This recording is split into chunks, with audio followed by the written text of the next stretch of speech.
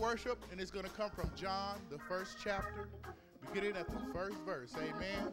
And it reads In the beginning was the Word, and the Word was with God, and the Word was God. Amen. He was in the beginning with God, and all things were made through him. And without him, nothing was made that was made. In him was life, and the life was the light of men. And the light shines in the darkness, and the darkness did not comprehend it. There was a man sent from God whose name was John. And this man came for a witness to bear witness of the light, that all through him might believe. Amen. I've read to you John 1, the first chapter, first verse through the sixth. May the Lord have a blessing to the reading, the hearing, and most of all, the doing of his holy word. Let's go to God. Heavenly Father, we come to you this morning. Father, first we just thank you, Father, because it was your grace and your mercy, Father, that brought us thus far. And Father, we thank you for that. And Father, what we ask this morning is that your Holy Spirit would just indwell within us, Father, that we may praise and worship your name. Father, we ask your traveling grace on those that are yet here but are on their way. Father, keep them safe. Guide their path, Father, that they may come to the sanctuary to praise your name. Father, we ask your blessings on your soldier, Father, that's going to bring your word today. Father, fill him with the Holy Spirit. Father, that your truth might go forward. Because we know that your word says that as it goes out, it does not come back void, Father. So we thank you. Father, we just ask that you just have your way today. And it's in Jesus' name we pray. And the church said, Amen. You're now in the hands of the music ministry.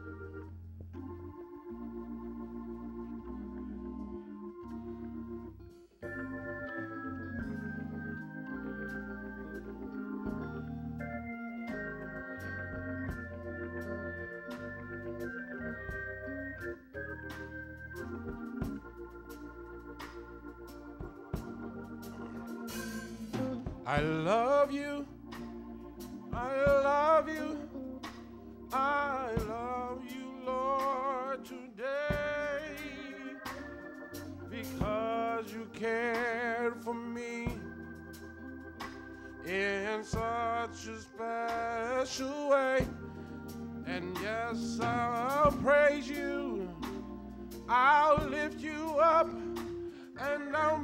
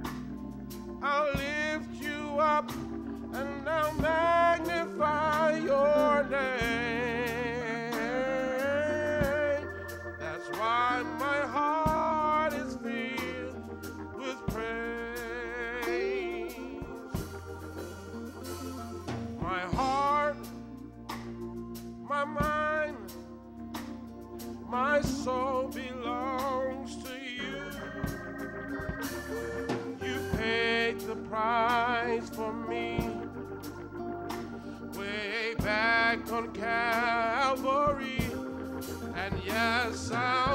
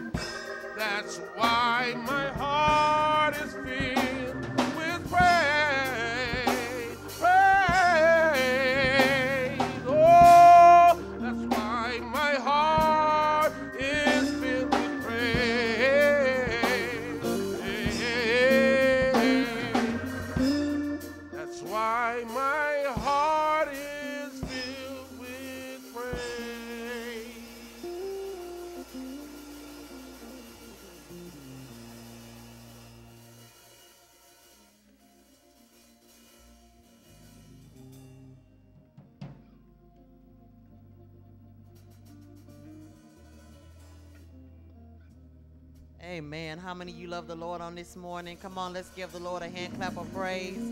Hallelujah. Hallelujah. Don't we serve an awesome God on this morning? Hallelujah. He is so awesome. Amen. I will ask that you stand to your feet as we do our responsive reading.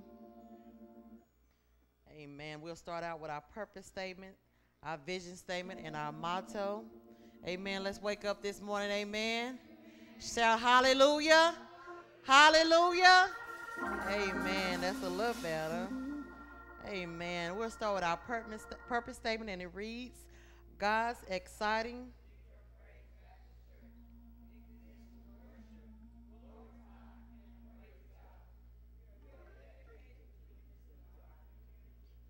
To the world by preaching, teaching, baptizing, discipling, and cultivating people in the Word of God. And our vision statement reads We envision God using us as a cultivator of His harvest in the DeSoto area and throughout the world. Furthermore, we envision cultivating the harvest through our ministries, such as preaching, child care, adult daycare, apartment Bible study, children and youth field day, and quarterly evangelism outreach. Amen. And our mighty motto it reads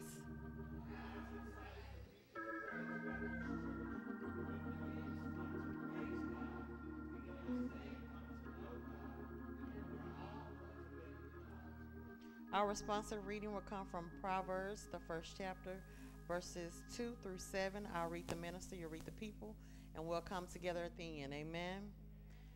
To know wisdom and instruction, to perceive the words of understanding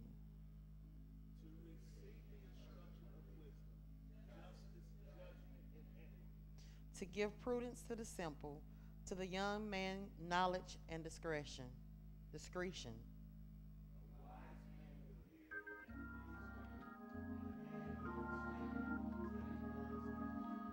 To understand a proverb and an enigma, the words of the wise and their riddles. Altogether, the fear of the Lord is the beginning of knowledge, but fools despise wisdom and instruction. Amen. Let us heed to that word. We are now back in the hands of our music ministry.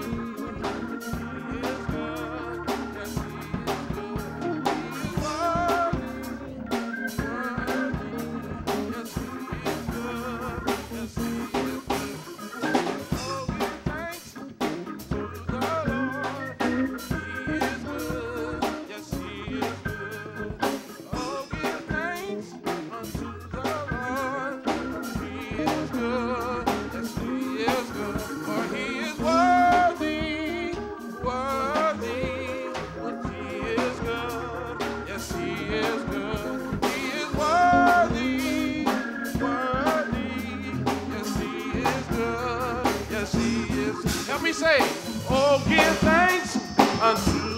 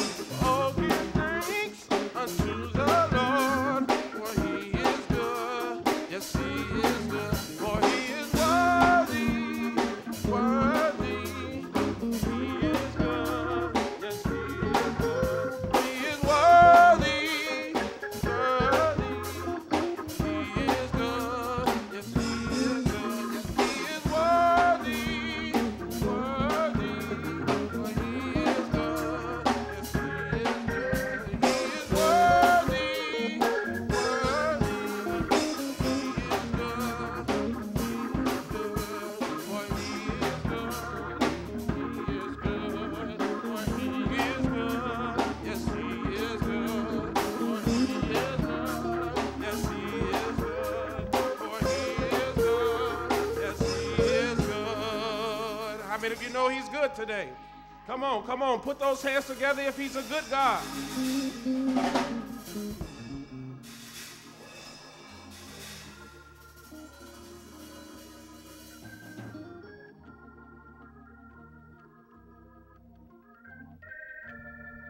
How many know that the Bible says, just taste him come to the point in our service where we welcome our visitors. If you're a member of God's exciting cathedral of praise, please stand up. to love. But not only to love, but God to forgive and to understand and to walk in the newness that you've given us. For you've told us that your mercies are new every morning. So, God, help us to realize that today is a new day, a new opportunity to praise you like we've never praised you before. Another chance to get it right, Lord. How we love you, how we praise you. But God, we don't want to be selfish. We want to stand as an intercessor for those who can't stand God, for those who don't know you in the pardon of their sin, for those who don't know that you are a Savior. You are a person that can turn midnight into day. And you can do that in the middle of a midnight. God, I pray right now, God. I pray, God, for the one that's going to come and proclaim your word. God, that you will speak to him and speak through him. But God, not that just a good word will be delivered.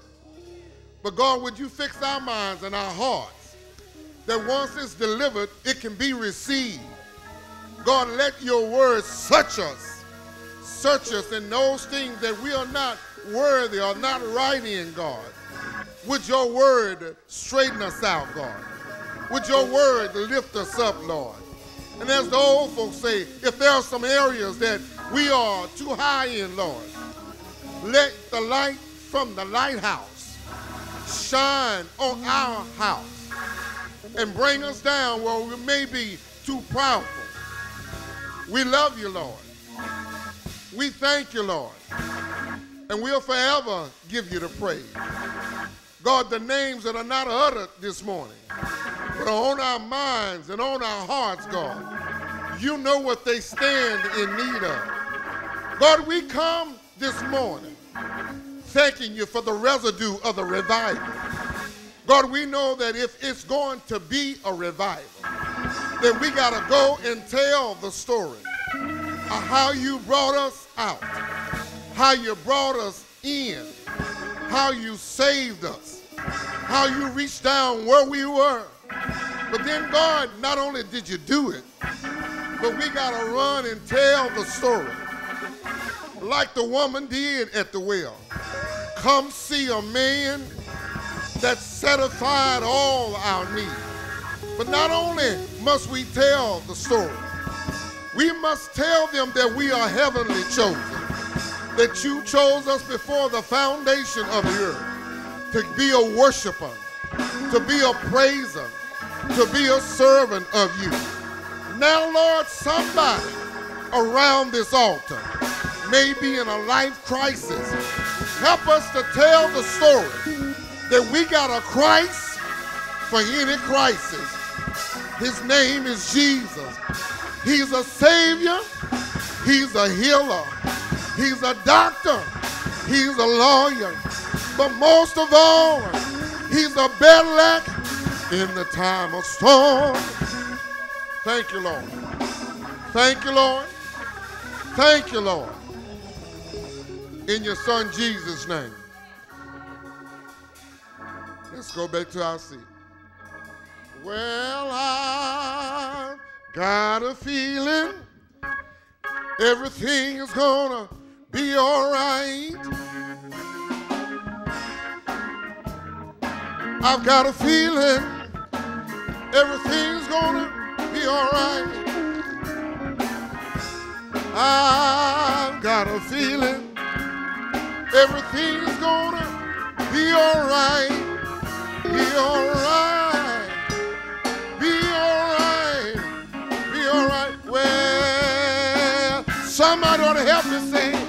I've got a feeling everything's gonna. Anybody else feel that way?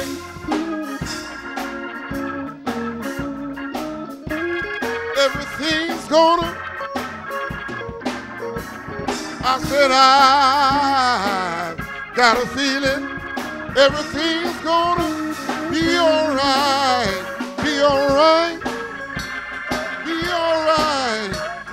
Be alright. Can I tell you why I got that feeling? Well, the Word of God keeps telling me everything's gonna be alright. The Word of God keeps telling me every time I read it. I said the Word of God keeps telling me everything's gonna be alright. Be alright. Be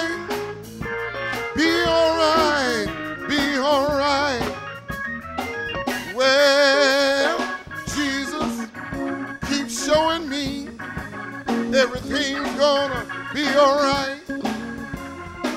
Jesus keeps showing me.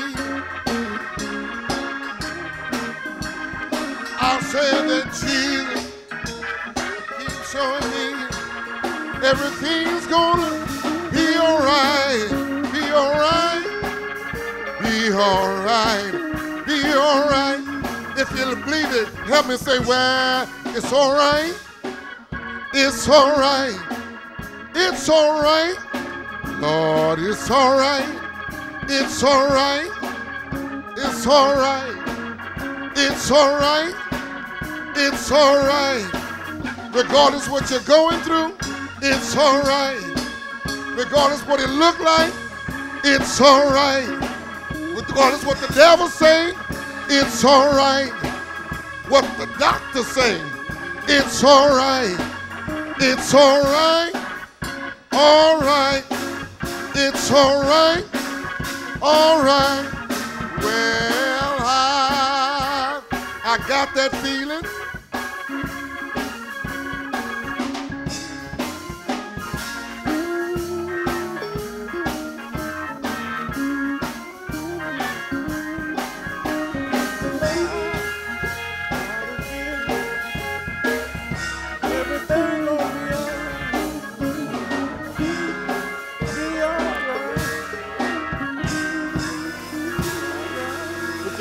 Together for God this morning. Amen, amen. How many of you serve a God that you know will make it all right? Amen. Pastor got our blood flowing. I appreciate him for that this morning. If you have your Bible, stand with me. No, we don't tarry long. We like to jump right in. Amen. Turn your Bibles to 1 King, the third chapter, starting at the 16th verse. 1 Kings, third chapter, starting at the 16th verse. It's a very familiar passage of Scripture. With God's help, I hope that He will glean some things anew from the passage. Amen. When you have it, signifying by saying amen. First Kings chapter 3, verses 16. And it reads, and I'll be reading from the NIV. I'm usually a King James baby, but this particular passage, I like the way it reads in, in the NIV. And it says, Now two prostitutes came to the king and stood before him. One then said, My Lord, this woman and I live in the same house. I had a baby while she was there with me. The third day after my child was born, this woman also had a baby. We were alone. There were no one else in the house but the two of us. During the night, this woman's son died because she laid on him. So she got up in the middle of the night, took my son from my side while I, your servant, was asleep. She put him by her breast and put her dead son by my breast. The next morning, I got up to nurse my son, and he was dead. But when I looked at him closely in the morning light, I saw that it wasn't the son I had born. The other woman simply said, No, the living one is my son, the dead one is yours. But the first one insisted, no, the dead one is yours and the living one is mine. And so they argued back and forth before the king. Then finally, the king steps in and says, This one says, My son is alive and yours is dead, while that one says, No, your son is dead and mine is alive. The king said, You know what? Bring me a sword. So they brought a sword to the king. He then gave an order to cut the living child in two. Give half of the child to one mother and half to the other one. Then the woman whose son was alive said, No, I'm filled with compassion. King, please. Lord, give her the baby. Don't kill him. But the other said, Neither nor I shall have him or you. Go ahead and cut him in two. Then the king, in his wisdom, gave his ruling to the woman, said, Do not kill him. She is his mother. When all Israel had heard the verdict the king had given, they held the king in awe because they saw that he had wisdom from God to administer justice. For a short while, I want to preach from the topic what happens when selfishness meets sacrifice? What happens when selfishness meets sacrifice? Let us bow. Dear God, we love you so much for your word, dear God. I'm always in awe, dear Heavenly Father, that when I study your word, dear God, how relevant you make your word to what we're going through today, dear Heavenly Father. I ask now, dear God, that whatever it is that you want your people to hear, dear God, that I will say those things, dear God. Dear God, when they see and hear you, dear God, today, dear God, I hope that something resonates with them anew, dear God, that maybe they did not think about when they think about selfishness and sacrifice, dear Heavenly Father. Hide me behind your cross, dear Heavenly Father. Let your word fall on receptive hearts, dear Heavenly Father. Allow me to remember the things that I have studied and to preach with your power and your clarity, dear Heavenly Father. In your name we pray. Amen. Amen. You can let those in that are outside. What happens when selfishness meets sacrifice? God sent me on assignment this morning to remind his people that selfishness and sacrifice cannot live under the same roof. Repeat that again. God sent me on assignment this morning to remind his people, not tell his people, to remind his people that selfishness and sacrifice cannot live under the same roof. Selfishness to the body of Christ is like a cancerous cell it seeks out everything around it that is positive to attack it and to kill it. Ultimately, to multiply itself and to make more just like it. God has designed life in such a way that we all periodically have to go through selfish checks in our lives. What are you talking about, preacher? God would uh, allow some things to happen or to threaten those things that we love or we may covet just to make sure that we remember that it's He who gave it to us and not us. Somebody said, Well, preacher, you need to give us some examples, and I will. Before we get to the text, let's look at Abraham and Isaac. Isaac was a gift given to Abraham a gift that was promised to Abraham by God. And one of the first things that God asked Abraham to do with Isaac was to sacrifice him. That was a selfish check. God was checking in with Abraham to make sure that he knew that just because I blessed you with this son, I want to make sure that you getting that one thing that you've been praying for is not standing in between your obedience unto me. So the first thing that Abraham had to do was show his obedience unto God that he was willing to sacrifice Isaac. It was his selfish check. Get another example. Come here, Job. Just showing you people who have gone through selfish checks. Scripture said that Job had everything that a man on earth could want. Had a wife, had a kids, had cattle, had land, had more money than he could spend. But God allowed Job to go through a selfish check. Job, I want to see if I touch the finances, if I touch your family, if I touch your body, Job, will you stay connected to me? Or are you connected to the things that I've blessed you with? Give you one more example the poor man Lazarus and the rich man.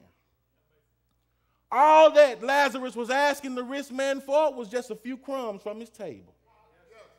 But the rich man was so caught up in what he had and what he had done for himself that he didn't feel like he had the need to give unto the poor. But his life kept living and he died and found himself tormented by the flame of hell.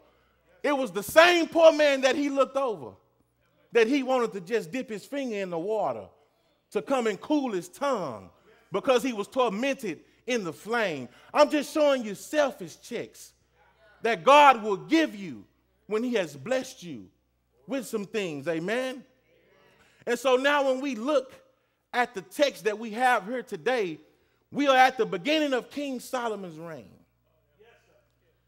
And King Solomon has asked God for supreme wisdom right before this text.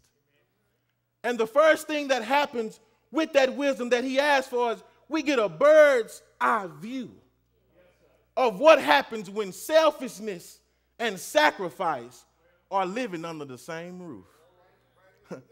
so when we look at verse 16, it says, Now two prostitutes came to the king and stood before him. My first thing I want you to know about selfishness and sacrifice Christians is that sometimes they can look just alike. Scripture said right here in 16th verse that two prostitutes came and stood before the king. And before he heard the story, he's just looking at two prostitutes. But one of the harlots represents selfishness, and one of the harlots represents sacrifice. But if you were to look at that book from the cover, all you see is two harlots. So the first wisdom we see here is that the king had knowledge enough to know that I'm not going to judge these books by the cover.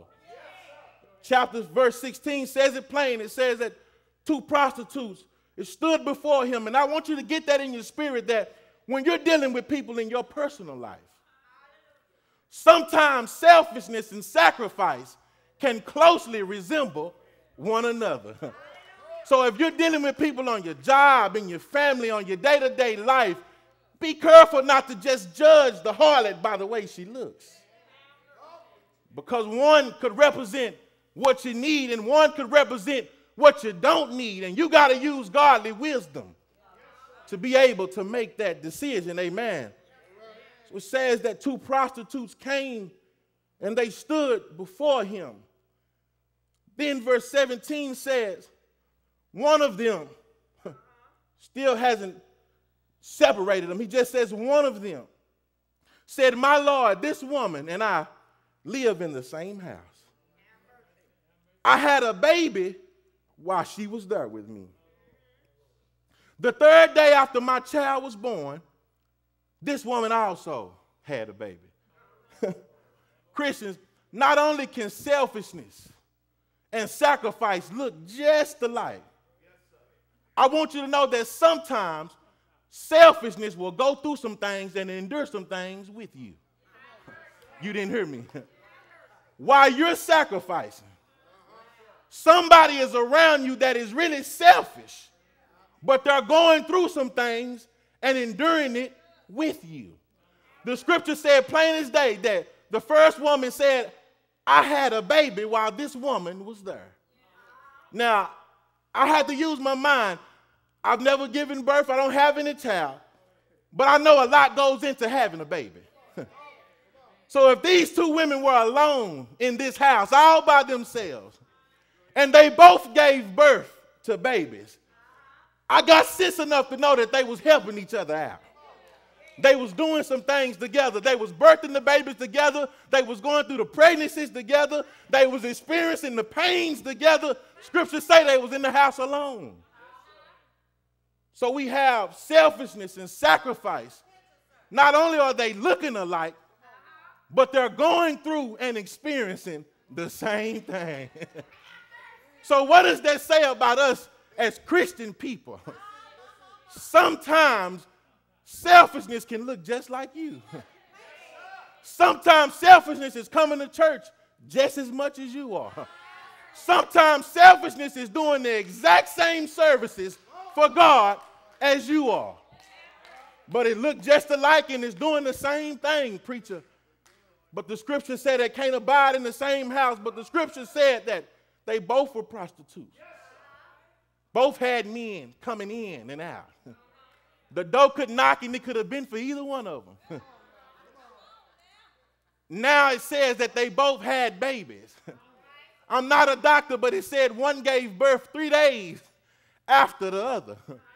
So somebody conceived around the same time. I'm just using my, my, my, my, my physical mind. If a woman gives three days birth after another woman, that conception took place around the same time. And so the scriptures paint a picture for us that two people can be on separate agendas, looking and doing the same thing. So one of them, my Lord said, we had a baby together. and it's interesting the one that's doing all of the talking. We had a baby while she was there. Woman had a baby. We were alone. And there was no one in the house but the two of us. We get to verse 19 and she says, during the night, her son died because she lay on him.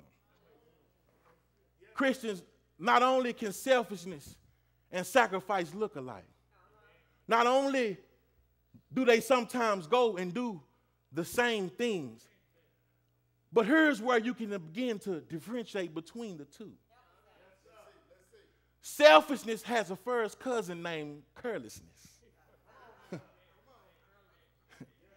And every time selfishness shows up, carelessness seems not to be too far away. so, what I want you to do is pay attention to the people around you that are treating their blessings carelessly. Somebody is not with me. Verse 19 said, While she lay, she overturned and slept on her baby and suffocated it. Now, I've seen a lot of mothers and a lot of children, but in my 31 years of living, I've yet to see a mother so careless with her baby that she just turned over and slept on it and suffocated it. But selfishness, I told you, and carelessness, they are first cousins. And so this is, I believe, the first inkling, even though the king didn't say much, that he had of whose child was who. But carelessness is the great indicator that selfishness is somewhere close. Then verse 20 says, So she got up in the middle of the night, took my son while I was asleep, your servant. She put him on her breast, put her dead son on my breast. Then the next morning, I got up to nurse my son. Huh. I looked at the time that the two women were moving around. Somebody was moving around in the night, and somebody was moving around in the morning time. I stopped by to tell you selfishness and darkness, it like to move around at nighttime. See, the swapping of the dead babies, that had to take place in the dark. Because when the light shine in the morning, I can see too much going on for you to swap your dead baby with my alive baby. What are you trying to say, preacher? The enemy goal is to swap out our dead selfishness for every living sacrifice that we have. That's why the scripture says, present yourself as a living sacrifice. Because the devil is trying to swap that out with some dead selfishness. Says, I urge you, beseech you, brethren, to present yourself a living sacrifice. God says he come that we may have life and that more abundant. The devil, he comes to kill, steal, and destroy. I want us to keep our mind on the two agendas that are being worked under the same roof. One woman's agenda, as she has already killed her blessing, huh, is to put her dead blessing off on somebody else and steal their joy. One woman's agenda is to just take care of the blessing that God has given her. She was asleep with her baby at night. She wasn't up at 12 midnight anymore. And I began to speak to my spirit that God, maybe this harlot was trying to change her life. maybe this prostitute was asleep because the blessing that God had given her had begun to change her desire, change her responsibility, change what she wanted to do. But the other prostitute was still on harlot time. Because you know prostitution takes place at the night. So for whatever reason, at midnight she was still awake. And I'm not saying that she was doing something she wasn't supposed to be. That's why she slept on her baby. I'm just looking at the times that they was moving around. People in darkness like to move at night, but early in the morning, the morning, the morning she woke up looking for her child and seeing that it had been swapped out. So what are you saying, preacher? Selfishness and sacrifice, they have two different sleeping patterns. Selfishness and sacrifice, they have two different sleeping patterns. People who are sacrificial move one way, and people who are selfish move a completely different way. I'm just trying to show you how to decipher selfishness from sacrifice because it's all under the same roof. And see, I believe that a mandate that God has given us is that in the body of Christ, we have to find a way to separate the selfish ones from the sacrificial ones. because the sacrificial ones are trying to nurture the blessing. but the selfish ones are trying to kill the blessing. And I don't want to get ahead of myself, but it's two different agendas under one roof. God is saying, I don't care what the outside look like. There's some different motives under one roof. So we have to figure out that selfishness, sacrifice, they can be under the same roof. They can look just alike. They can go and do about the same things. Their daily routine can look exactly the same. And the enemy goal is to swap out his dead selfishness for all of our living sacrifices. Uh, but we get to verse 21. The woman says, The next morning I got up to nurse my son, he was dead. But when I looked closely in the morning light, I saw that it wasn't the son I had born. And here come verse 22. Notice that the other woman, up until this verse, hasn't said a word. I stopped by to tell you that sacrifice don't have too many words. It got all action. I want to get ahead of myself. Sacrifice, when it comes to crunch time, sacrifice don't have a lot of words to say. Sacrifice just has action. Breaking news, this has been selfishness talking for the first five or six scriptures. The king hasn't said a word. Sacrifice hasn't said a word, but somehow selfishness got all the details. They know exactly what happened, when it happened, how it happened, what time it happened. But the king in sacrifice has not said a word. But when we get to the 22nd verse, she says, No, the living one is my son, and the dead one is yours. Now the first one wants to go back and forth because you know selfishness likes to talk. No, it's your baby that's dead and mine that's alive. I told you the only way to determine between selfishness and sacrifice is you got to have godly wisdom. Here comes the king in verse 23, And I need to qualify the king's wisdom before he speaks. Solomon had just put his daddy to death and dealt with his daddy dying. He had just got all of his enemies out of the way that was trying to threaten his reign at the throne. And if you read the chapters before this, he pleased God because he said, God, all I want you to do is give me your wisdom. I'm trying to qualify the king before he opened his mouth. God, I don't want money. I don't want women. I don't want gold. I don't want fame or fortune. God, just give me your wisdom. And God said, I'm so pleased with what you asked me for that I'm going to give you just that. I'm going to make you more wiser than any man that will ever come or that has been. So, what does the wise man do? The king said, One of you says, This is your son, and the other one says, This is your son. Here come godly wisdom. Bring me a sword. I started the B topic, this message God, please don't cut my blessing in half. But that would have been selfish because that's not what the message is about. but he said, Bring me a sword. because you know what? We're going to get to the bottom of this real quick. I've heard all of the, the, the, the, the details, I've heard all of the accusations. Bring me a sword. What we're going to do is we're going to cut the blessing in half. Because me, as a wise king, I, I don't have enough evidence to make a decision.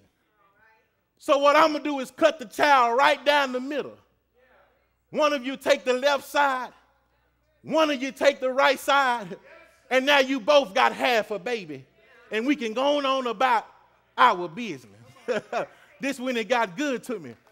But sacrifice stepped in and said, Now, king, now, king, because I'm about sacrifice. I would rather see the blessing live with somebody else than to completely die. I got to bring that home. It's some people at church because they don't have the spot they want. They would rather see the ministry die than to live on through other people. So, God, you know what? Cut it in half. And that's when selfishness alarmed me. Said, Oh, my, my, my. The other woman has already given you the whole baby. You can have it. I don't want it anymore. I don't want to see my blessing go to waste. I don't want to see what I bore for nine months die. I don't want to see what came through me dead. You can have it. I'll find a way to check on him later on. I'll get your address when we separate and, and, and, and drive by and see how it's growing up. King just don't kill it. But I told you, selfishness is on the devil's agenda. He only comes to kill, steal, and destroy. The other woman has gotten exactly what she wanted. It's in the text. But she still told the king to cut the baby in half. What does that say to me loud and clear? The woman never wanted the baby. Good God Almighty. Satan don't really want your blessing. he got power enough to get whatever it is that you got. he wants to steal your joy. And y'all, y'all not listening to me. The woman didn't want the baby. She just didn't want the other woman to have a healthy baby, and hers is dead. The people in your life, they might not want what you got. They just tired of seeing you smile so much. They tired of seeing how much joy you have. They tired of seeing how happy you are in your relationship, how hard you're working on your new job. Uh, they don't want what you got. They just tired of how happy you are. Talking about when selfishness and sacrifice are under the same roof. And so now the woman says, I want my baby to live. She can keep the baby, just don't kill him, king. And the king says, I'm very wise here. I've asked God for wisdom on a level that y'all can't even understand. Y'all thought when I asked for the sword that I was just being another bloodthirsty king. But Solomon was saying that godly wisdom says that sacrifice wants to see it live and selfishness wants to see it die. So when sacrifice steps up and says, You can have the blessing, the king knew immediately that's the real mama.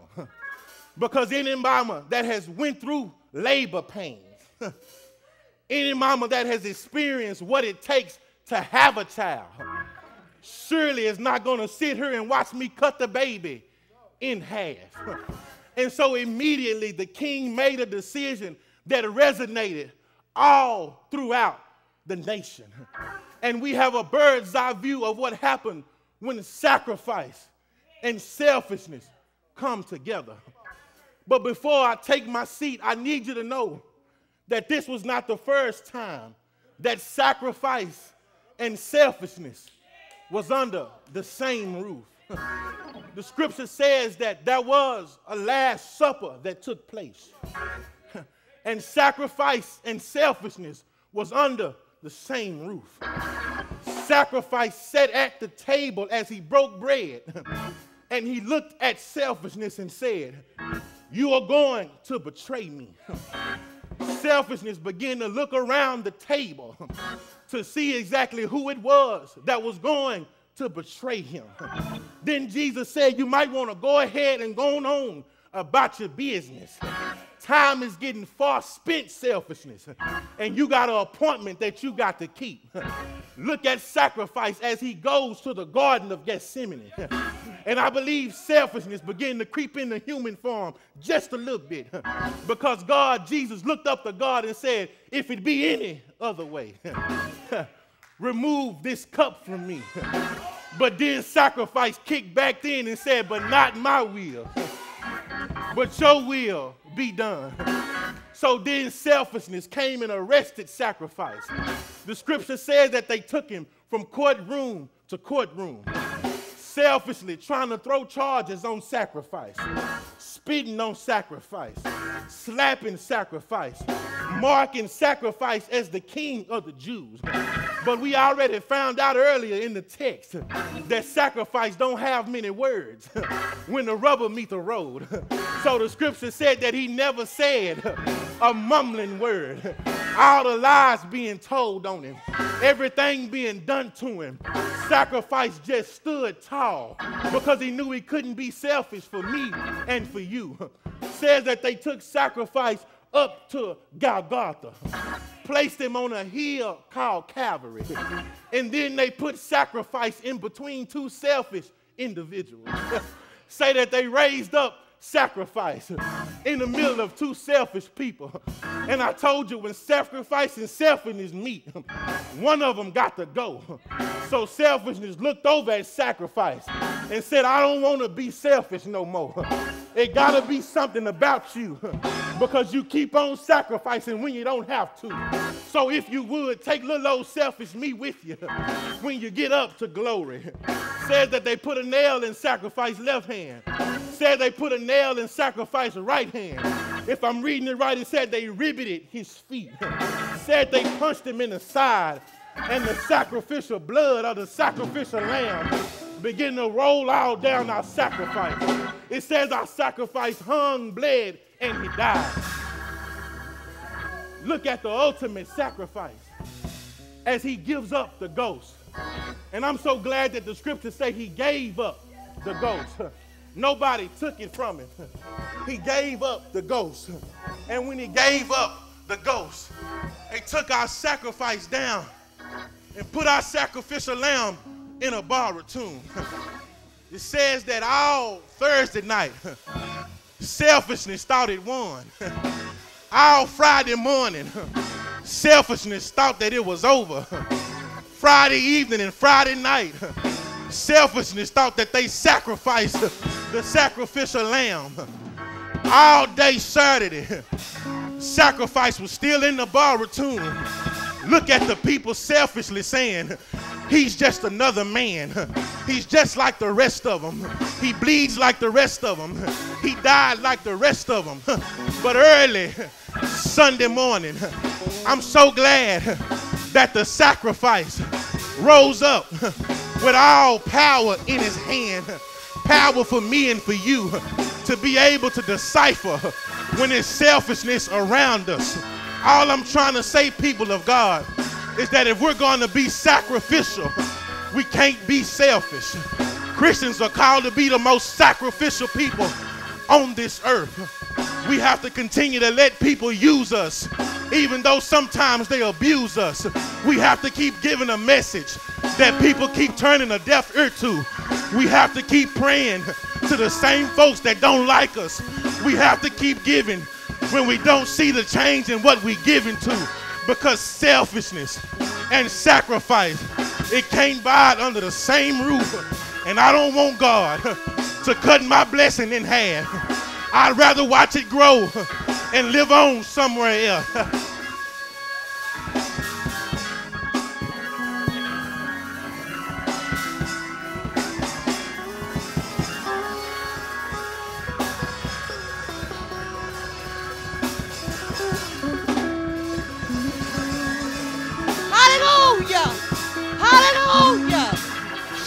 Jesus, Jesus, Jesus. Hey! Hallelujah. Jesus. Come on, come on, come on.